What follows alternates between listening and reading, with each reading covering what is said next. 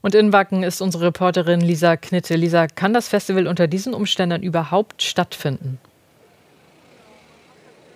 Ja, das fragen sich im Moment hier alle Metalheads hinter mir auf der Hauptstraße. Was wird aus Wacken dieses Jahr? Aber der Veranstalter hat immer noch nicht das Festival abgesagt, sondern plant ganz normal mit äh, Beginn der Bühnenshows morgen weiter.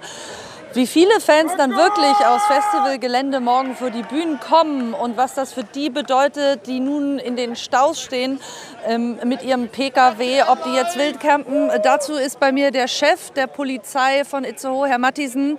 Äh, wir hatten eben gerade eine Live-Schalte weiter hinten. Da hat es sich immer noch kilometerlang gestaut. Wir wissen, alle Zufahrten nach Wacken sind voll. Die dürfen jetzt alle nicht aufs Campinggelände. Was machen Sie mit denen? Also wir haben in der Tat eine historisch einmalige Situation.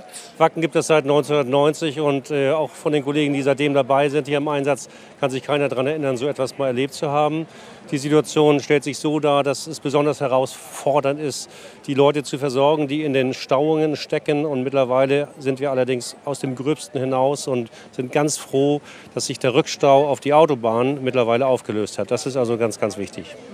Es heißt ja, Leute, die sich noch im näheren Umfeld befinden, dürfen trotzdem noch aufs Campinggelände. Was heißt das für Sie? Also die Grundaussage ist, aufgrund der prekären äh, Platzverhältnisse ist es total wichtig, dass hier nicht zu viele Leute raufkommen. Und deswegen sind wir über jeden dankbar, der sagt, dieses Jahr verzichte ich auf eine weitere Anreise nach Wacken. Das ist die Grundaussage. Wer sich allerdings hier im näheren Umfeld befindet, also jetzt gerade hier im Stau ist, der wird hier auch noch hereingelassen. Also die Tore sind hier aktuell noch geöffnet. Aber wir werden hier nicht so viele Personen unterbringen können, wie eigentlich vorgesehen ist.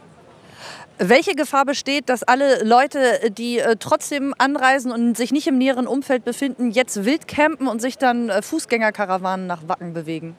Also, dass man hier und da äh, Wildcamper äh, antreffen konnte, das gab es eigentlich schon immer. Ich glaube nicht, dass das eine besonders ähm, starke Gefahr momentan ist. Allerdings, wenn sich jetzt alle Leute nicht an unseren Aufruf halten, kehrt bitte um, dann könnte es sein, dass sie hier ankommen und nicht reingelassen werden. Dann müssen sie wieder nach Hause fahren. Insofern umkehren ist eine gute Option. Und ganz kurz am Ende, es hat ja schon lange vor Beginn des Festivals und der Anreise geregnet. Wäre das nicht vermeidbar gewesen, dieses Chaos?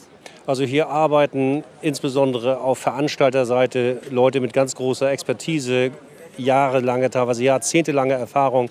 Das hat keiner vorhergesehen, dass sich die Bodenverhältnisse so dramatisch darstellen. Wir haben hier eine dreifache Niederschlagsmenge im ganzen Juli gehabt, wie sonst in den Jahren zuvor. Da ist niemandem ein Vorwurf zu machen.